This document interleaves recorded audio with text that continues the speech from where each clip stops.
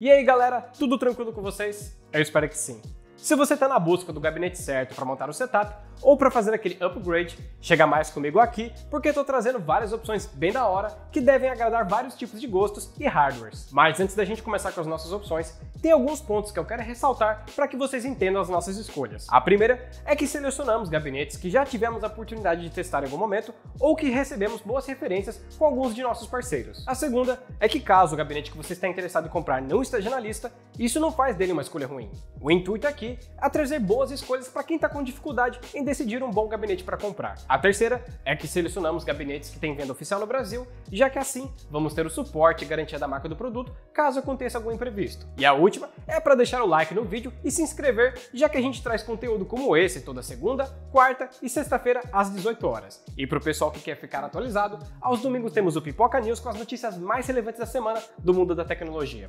Agora, sem mais delongas, bora pro vídeo!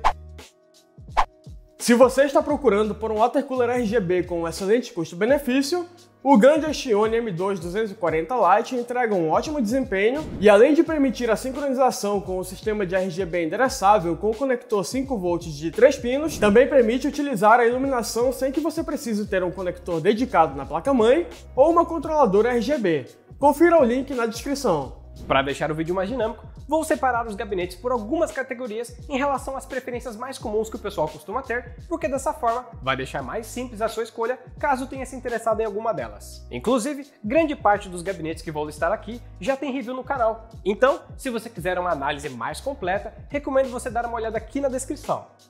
E o primeiro gabinete que escolhi para vocês é o que eu considero que mais entrega no quesito de qualidade e features extras, se comparado com algumas opções mais topo de linha do mercado, que é o Lancool 215 da linha Li. Eu não estou dizendo que ele é o melhor do melhor, mas sim um gabinete que entrega extrema qualidade em todos os aspectos e traz features extras que a gente só encontra em gabinetes mais topo de linha, só que com um preço muito mais atrativo. O Lancool 215 tem uma estrutura muito sólida, espaço para suportar os hardwares mais robustos, ótimo airflow com a tela frontal e mesh, com destaque para sua base que é furada e os rubber domes para os cabos. Na verdade, na parte do Airflow, ele é um dos melhores que você vai encontrar no Brasil. Outro ponto que eu acho muito bacana dele é que acompanha duas fãs de 200mm a RGB na parte frontal, que são conectadas em uma controladora para deixar todo o RGB sincronizado, dando um toque bem único para o setup. Então, se você estava na procura de um gabinete muito completo, que entrega features dos gabinetes topo de linha, que fosse uma solução definitiva para suportar vários dispositivos, ótimo Airflow e pagando por um gabinete intermediário e recebendo um Premium,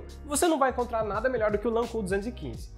Outra opção que está na mesma categoria, que entrega qualidades muito boas e algumas features extras das opções mais topo de linha também, mas com preço ainda mais em conta, aí nós temos o Lancool 205 da linha ali também. Eu já adianto que na faixa de preço dele, com certeza é um dos que mais valem a pena. Esse é outro gabinete com uma estrutura muito boa e bem completo, com espaço para suportar hardwares mais robustos e versatilidade bem legal, com seu suporte para fixação das fãs ou water coolers na parte frontal e superior e sua gaiola de HDs removível e que é também. Além disso, se você é aquela pessoa que gosta de deixar o setup bem limpo, mas tem preguiça de ficar limpando constantemente a máquina como eu, o Lancool 205 pode ser a escolha perfeita, já que ele tem filtros de poeira magnéticos na parte superior e outra que fica na parte frontal e uma mais simples que fica abaixo do PSU. E antes que eu me esqueça, ele acompanha duas fãs de 120mm PWM. Uma fica na parte traseira e a outra na frontal, que completam o airflow do gabinete, junto com as pequenas aberturas laterais da parte da frente do gabinete. Então, o Lancool 205 é outro excelente gabinete para quem está procurando uma opção bem completa,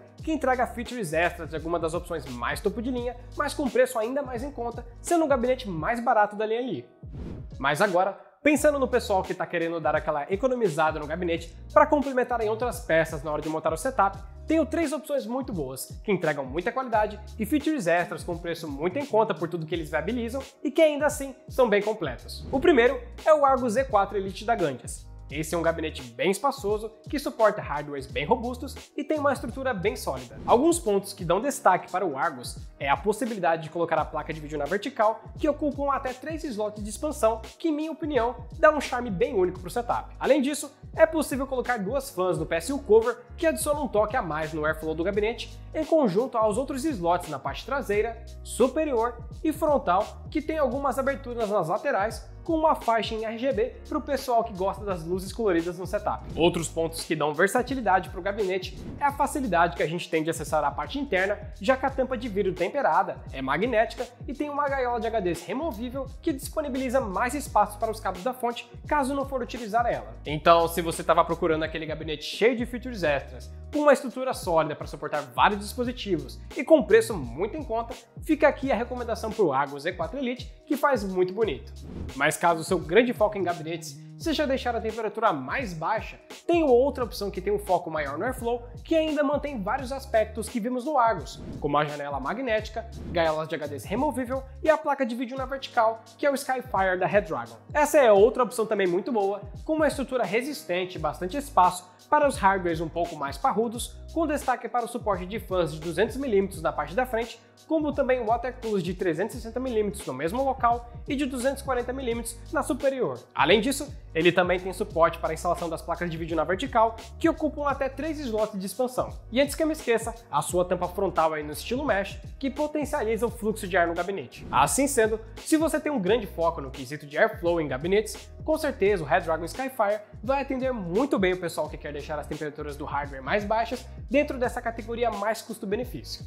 E a terceira e última opção desta categoria é um gabinete voltado ao pessoal que tem um foco no quesito de estética, já que ele tem um vidro temperado na parte da frente e traz várias features extras, como as opções anteriores. Com isso em mente, o Talos Z2 Elite da Gandias pode ser uma excelente opção. O Talos entrega uma qualidade muito boa na estrutura e é espaçoso para suportar os dispositivos mais robustos, com destaque para a possibilidade de colocar a GPU na vertical que usam até 3 slots, cage de HDs removível, janela magnética e suporte para duas fãs de 200mm na parte frontal, que em minha opinião fica muito bonito nesse gabinete. Mas o real motivo dele estar aqui na lista é porque ele pode ser uma opção mais completa para algumas pessoas que não querem se preocupar em comprar um kit de fãs à parte para completar o fluxo de ar do gabinete, já que o Talos Z2 Elite acompanha três boas fãs em RGB na frente e uma mais simples na parte traseira que fazem bem o seu papel. Por isso, se você quer um gabinete realmente completo, cheio de features extras, com muito espaço e qualidade para colocar o seu hardware, com certeza o Talos Z2 Elite da Gandias pode ser muito interessante. Agora, se você está pensando em montar aquele setup bem top e precisa do gabinete perfeito para suportar qualquer hardware, tenho três opções que entregam um excelente airflow, versatilidade e qualidade extrema em todos os aspectos. O primeiro deles é o Strafe Infernal Dragon, que traz uma construção admirável com uma chapa mais grossa, que ameniza as pequenas vibrações geradas pelo hardware, estendendo ainda mais a durabilidade do equipamento ao longo dos anos. E se era muito espaço que você queria, com certeza o Strafe vai te surpreender, já que ele permite colocar um radiador de até 420mm na parte frontal, que é uma dimensão de water cooler que nem encontramos com facilidade aqui no Brasil. Então, se a sua preocupação é achar um gabinete que suporta water cooler de 360mm, pro Strafe isso é fichinha. E no quesito dos air coolers, fica com espaço de folga mesmo com a Assassin 3 da Deepcool, que é um dos maiores air coolers do mercado. Então, eu não consigo imaginar nada nessa parte que não dê para colocar. Inclusive, para complementar ainda mais a questão do airflow do gabinete, ele tem a tampa frontal no estilo mesh. E algumas de suas features extras, que demonstram atenção nos mínimos detalhes, são os parafusos que ficam presos à tampa do gabinete, gaiolas de HDs com vários ajustes de posição e temos o suporte para GPU na vertical, que usam até 3 slots de expansão, que dá aquele charme único para o setup. E como vocês já devem ter percebido, ele tem uma arte exclusiva do Brockhofer que complementa ainda mais da beleza desse gabinete. Portanto, ele com certeza vai agradar o pessoal mais exigente no quesito de qualidade e que está na procura do gabinete para suportar qualquer coisa. E antes que eu me esqueça, o Strafe tem outras duas versões idênticas, mas que trazem um design mais sóbrio que vão agradar diferentes gostos, que é o Demolisher e o Megatron, sendo possível encontrar eles nas cores preto e branco. E pensando em outro gabinete que também tem a disponibilidade na cor branca ou preta, e que tem um design muito bonito com RGB na parte frontal, com extrema qualidade, aí nós temos o Lanco 2 da linha Li, que inclusive é o gabinete que está montado no PC do Sávio, que ele usa para editar os vídeos do Pipoca Tech. Esse é outro gabinete que capricha em todos os detalhes, com uma excelente construção e uma chapa mais grossa para amenizar as pequenas vibrações do hardware, como falei lá no Strafe Infernal Dragon. E o que eu mais gosto no Lanco 2 é o seu grande foco na versatilidade que ele proporciona, começando com a sua gaiola de HDs removível e ajustável que disponibiliza mais espaço para os water coolers na parte frontal. Além disso, ele acompanha um suporte para fixar as fãs de 120 ou de 140 mm da parte frontal, sendo removível e modular, disponibilizando mais espaço para configuração de push and pull do water cooler na parte frontal. Outro ponto ainda na versatilidade é que temos uma facilidade incrível para acessar toda a parte interna do PC, graças ao seu sistema de abertura que usa ímãs em todas as tampas laterais do gabinete. E caso você seja aquela pessoa que tem preguiça na hora de fazer o cable management,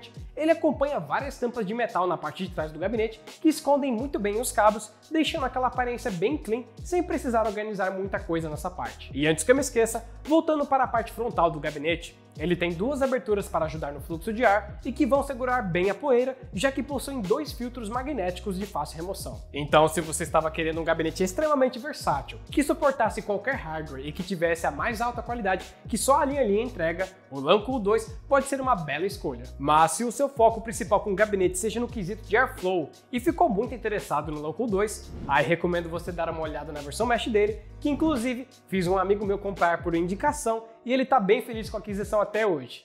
E terminando nossa lista de recomendações, escolhi o O11 Dynamic da Lian Li para ser a cereja do bolo, já que em minha opinião ele é o supra-sumo dos gabinetes sendo a melhor opção de todas que você vai encontrar no mercado brasileiro e também é muito querido pelo pessoal entusiasta. O seu grande foco é trazer uma estética fechada muito bonita, com o uso do vidro temperado, que ainda proporciona um bom airflow graças à engenharia bem produzida no design do gabinete, já que ele realmente tem muito espaço e várias aberturas para a passagem do ar. Inclusive, todas as suas aberturas possuem um filtro de poeira magnético, que com certeza vai agradar o pessoal mais exigente na preocupação de manter o setup bem limpo e que seja prático na hora da limpeza limpeza. Além disso, ele tem uma construção muito robusta, com uma chapa bem grossa para amenizar a vibração do hardware e traz um formato diferente com o design do Alt Chamber, que em poucas palavras permite melhor visibilidade para o setup e melhor organização dos cabos. Para vocês terem uma noção do quanto de espaço que ele disponibiliza, o O11 permite colocar water coolers de 360mm na parte superior,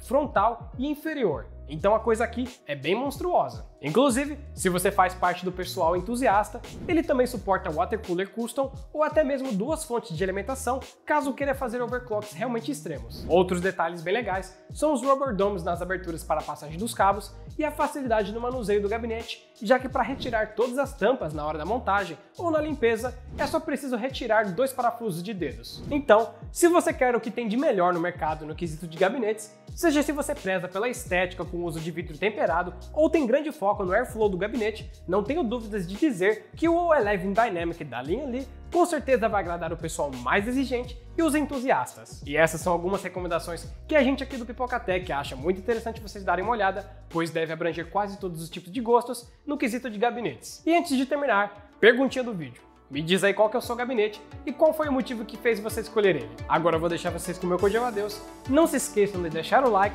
e se inscrever no canal clicando aqui do lado e confere esse outro vídeo aqui também que garanto para vocês que tá bem da hora. Vejo vocês no próximo vídeo e até mais!